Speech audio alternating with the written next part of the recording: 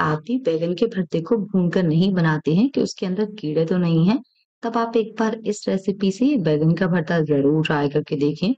अगर आपने आज से पहले कोई रेसिपी ट्राई नहीं की तब भी आप फ़र्स्ट टाइम में इसे परफेक्टली बनाकर तैयार कर लेंगे। बैगन का भरता बनाने के लिए सबसे पहले हमने लिया है यहाँ पर मीडियम साइज़ के दो बैगन। बैगन को अच्छे से छील कर यूज़ करेंगे क्योंकि नॉर्मली जब भी हम बैगन का भरता बनाते हैं उसके अंदर चुक्कल का यूज़ नहीं करते हैं तो चाहे आप भून कर बनाइए इस रेसिपी से, दोनों ही तरीके से हमें बैगन को छील कर ही यूज़ करना है। बैगन को छीलने के बाद अभी इस बैगन को बीच से कट करेंगे और अच्छे से देखकर कट करेंगे कि इसके अंदर कीड़े ना हो। आप इसे जितना चाहें उतने बारीक पीसेस में कट करके आराम से चेक कर सकते हैं। इस रेसिपी में आपको कीड़े का कोई भी टेंशन नहीं रहेगा। पूरे बैगन को कट करने के बाद इसे साफ़ पानी के अंदर डाल देंगे। इससे बैगन का जो कलर है वो चेंज नहीं होता है। अच्छे से धो लेंगे पूरे बैगन को। बैगन को धोने के बाद अब हम इसे डालेंगे एक प्रेशर कुकर के अंदर क्योंकि हमें इसे बॉईल करना है। इसी के साथ हम इसमें डालेंगे लगभग दो से तीन कप जितना पानी और हम इसमें डालेंगे डेढ़ छोटा चम्मच या अपने स्वाद अनुसार नमक, आधा छोटी चम्मच हल्दी पाउडर और बस प्रेशर कुकर के ढक्कन को लगाकर इसमें कम से कम तीन से चार विसल आने देंगे। अगर आप तेज आँच पर लगा रहे हैं तो आप चार विसल लगाएँ। अगर धीमी आँच पर लगा रहे हैं तो दो या तीन विसल में भी ये अच्छे से बॉईल हो जाएगा। जब तक कुकर ठंडा होकर तैयार होगा, तब तक हम इसका मसाला बना लेते हैं। इसके लिए कढ़ाई में डालेंगे सरसों का तेल। तेल को अच्छा धुआँ आने तक गर्म होने देंगे। अब इसमें डालेंगे आधा छोटी चम्मच जीरा और एक पिंच हींग। इसी के साथ हम इसमें डालेंगे बारीक कुटा हुआ लहसुन और अदरक। अगर आप लहसुन नहीं खाते हैं तो इस स्टेज पर सिर्फ़ अदरक को भून लें, लहसुन स्किप कर दें। दो से तीन बारीक कटी हुई हरी मिर्च डालेंगे, इसे भी डालकर अच्छे से मिक्स कर लेंगे।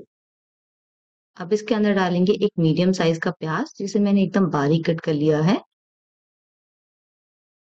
प्याज को भी मसाले के साथ मिक्स करेंगे और उस प्याज को अच्छे से भुनने देंगे, जब तक कि प्याज का कलर जो है वो अच्छे से चेंज ना हो जाए। जब तक ये प्याज अच्छे से भुनकर तैयार हो रही है, तब तक हम कुकर को भी चेक कर लेते हैं। तो इसमें प्रेशर बिल्कुल भी नहीं है। अब हमने जो बैगन इसके अंदर बॉईल किए थे, वो अच्छे से बॉईल हो चुके हैं। तो इसे अच्छे से मैश कर लेंगे। तो आपको अब कभी भी बैगन का भरता बनाने के लिए ज़रूरी नहीं है कि आप बैगन को भूने। आप इस तरीके से भी बैगन का भरता बहुत ही आसानी से बना सकते हैं। बैगन हमारा तैयार है और यहाँ हमारा ये प्याज भी भून चुका है। अब इसके अंदर डालेंगे दो बारीक कटे हुए टमाटर, आधा छोटी चम्मच भुना जीरा, आधा छोटी चम्मच हल्दी पाउडर, एक चम्मच लाल मिर्च पाउडर, दो चम्मच जितना धनिया पाउडर और डालेंगे सबसे लास्ट में आधा छोटी चम्मच आमचूर पाउडर और डालेंगे एक पिंच जितना गरम मसाला। सभी मसालों को डालकर अच्छे से मिक्स करेंगे और इस टमाटर को इसके साथ अच्छा सॉफ्ट होने तक पकने देंगे। अब इस स्टेज पर मैंने इसके अंदर नमक नहीं डाला है क्योंकि हमने नमक पहले से ही डाला हुआ था। मसाला जल ना जाए, इसके लिए थोड़ा सा पानी डालकर अच्छे से पका लेंगे। अब हमने जो बैगन को पहले बॉईल करके रखा हुआ था ना, पूरे बॉईल किए हुए बैगन को इसके अंदर डाल देंगे और मिक्स करके इसे कम से कम एक से दो मिनट तक अच्छे से पकने देंगे। जब तक कि इस बैगन के साथ पूरा जो मसाला है वो अच्छे से मिक्स ना हो जाए।